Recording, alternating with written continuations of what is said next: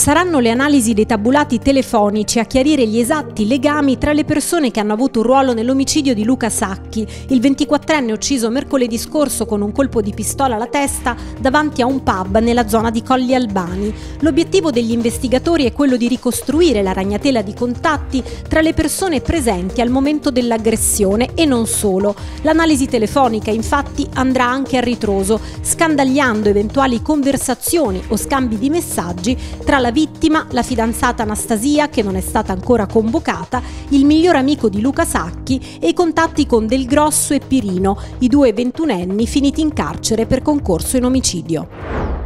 Soldi ai municipi per le spese sociali e la manutenzione stradale, ma anche lo spostamento di risorse dal 2020 al 2019 per l'acquisto di 120 nuovi autobus. È quanto prevede la variazione di bilancio presentata oggi in Assemblea Capitolina dall'assessore al bilancio di Roma Capitale Gianni Lemmetti.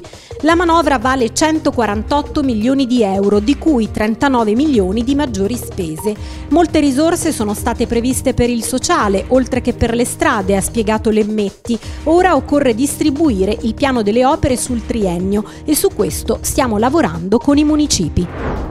La Guardia di Finanza di Roma ha arrestato nove persone specializzate in rapine e furti in ville, uffici postali e gioiellerie. Al vertice della banda Lorenzo Saracchini, un pluripregiudicato sfuggito in un primo momento all'arresto e poi catturato nel 2012 in Spagna. Come ricostruito nel corso delle indagini, Saracchini ha continuato a pianificare l'esecuzione di reati che non sono stati portati a compimento grazie all'intervento delle fiamme gialle. È il caso della rapina sventata il 2 ottobre 2012 2017 all'ufficio postale Lido di Ostia e un furto ai danni di un laboratorio di preziosi sul lungotevere dei Mellini.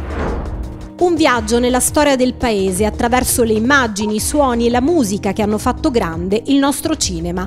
Roma ha il suo Museo Italiano dell'Audiovisivo e del Cinema, il MIAC, uno spazio di 1650 metri quadrati nel cuore degli studi di Cinecittà. Costato 2 milioni di euro, il museo aprirà al pubblico a dicembre.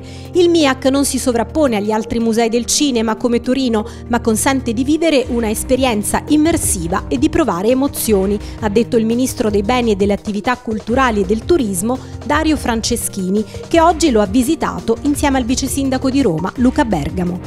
Per tutte le notizie consultate il sito dire.it.